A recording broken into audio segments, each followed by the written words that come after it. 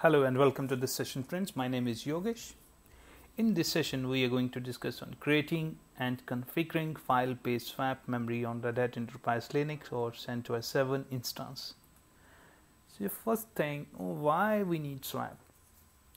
To answer friends uh, swap space in Linux can be used when a system require more memory than it has been physically allocated to elaborate it friends uh, let's assume you got one EC2 instance that got 10 GB of physical memory allocated and that 10 GB memory is not sufficient for your application or other system processes to work. To get rid of this issue you got two options one you can use higher capacity instances but that is going to cost you extra second way if uh, adding additional swap can help you so you can use that workaround. But keep in mind friends that uh, with swap you will not get same performance that you can get with physical memory. But again uh, that's up to you up to your requirements default EC2 swap configuration. So friends, uh, default AMIs, whether that's Red Hat AMI or CentOS AMI, they don't have any swap configured. So you have to configure it basically. I have listed process to adding a file-based swap. So like uh, you can add swap in two ways. One, you can uh, use disk or LVM volume. Other way is using a file and configure it as swap file and add it to your swap configuration. So I'm uh, describing procedure for file based swap. Okay, first step friends, you have to create a swap file.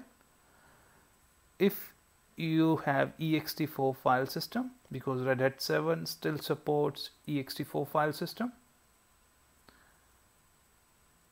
or if you got XFS which is default file system on Red Hat 7 so friends uh, if you are using fallocate command to create swap you can't use it on XFS because on XFS it creates empty holes which is not supported by swap configuration.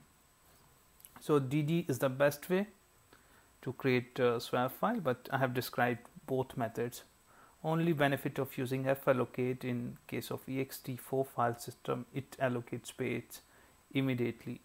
Means you don't have to wait for a couple of minutes or like long time depending upon your swap size.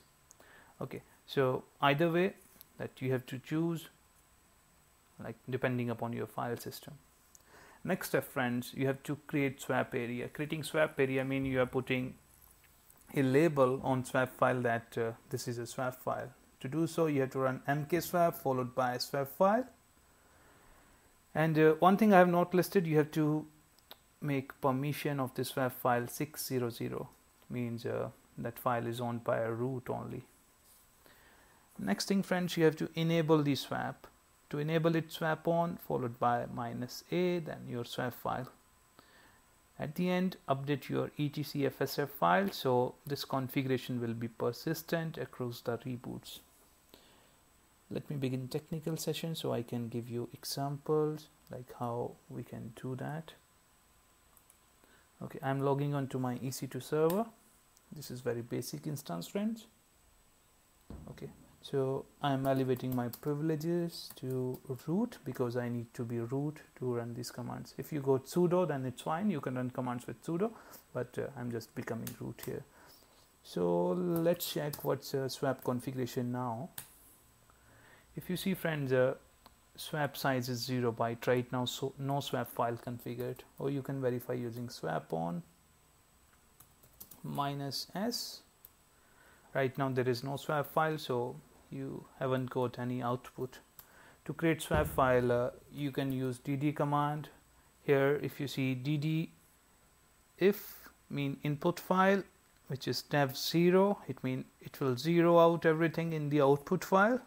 Of mean output file. This is the file name swap, swap file. This is the block size mean uh, the block which will be used for writing. That's a 1 MB block 1024K which means 1 MB count is equal to 1024 it means uh, if you cal calculate or multiply it becomes 1 GB of swap file. I'm pressing enter here friends. So it may take a couple of seconds. If you got a big swap file to create then it may take a larger amount of time. Fallocate is useful in such cases. But uh, as I said it got limitation on uh, XFS file system. But if you go to ext4 then go with fallocate uh, you may be thinking why have used dd why I have not used uh, fallocate here friends so file system type here you can run df minus sorry df minus capital T here. If you see my root file system is on XFS there is no ext4 file system. Otherwise I could go with fallocate command. Okay friends so file is created now let's create swap area on this file. To do so mkswap followed by file name. Okay it's done. Now let's enable the swap. Enabling mean we are using going to use this swap. Okay friends uh, as I said uh, that's a main bit. It need to be 600 so to do so chmod 600 then your swap file. So it's done and uh, swap is enabled free minus m or free minus h up to you. You see this is a 1 GB swap that is enabled now. So that swap is in system configuration or you can verify using swap on minus s. You see this is a swap file this is the size and this is a priority thing. Okay. So friends uh, that's a simple how you can use swap. In case you have to turn this swap off just swap off and then file name. Okay as I said uh, another thing we have to do we have to add it in fs tab. So swap will be persistent across reboots vi etc fs tab. Here I'm appending this escape o escape i. This is the file swap file. And these are the options I'm using.